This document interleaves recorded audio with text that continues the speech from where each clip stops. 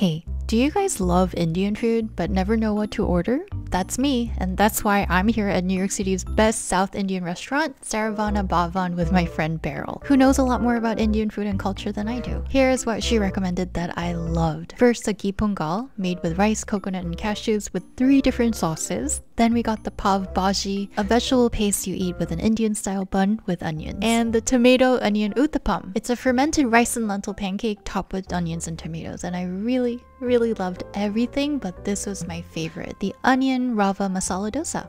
It's layers of very thin crepes with a spiced mashed potato inside, so you scoop up the potato with a crepe, and it's so many good flavors all at once. Then Beryl took us to an Indian grocery store nearby, and I was basically getting a culture shock. What other Indian dishes would you recommend?